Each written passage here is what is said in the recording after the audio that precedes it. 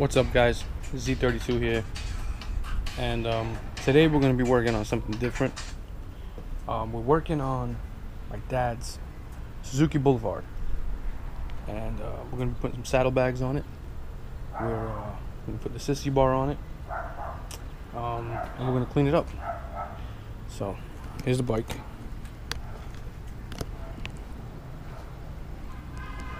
It's an 05. It's got 6,000 miles on it. Very, very well kept. Um, I'm gonna go ahead and start it up.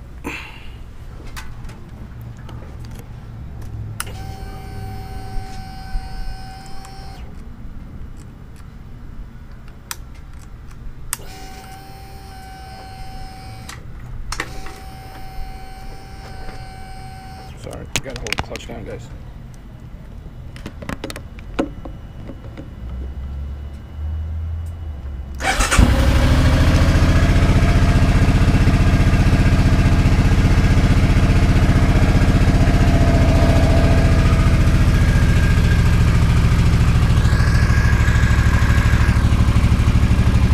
Yeah, 05. Runs good, sounds good. Could use an oil change. I think.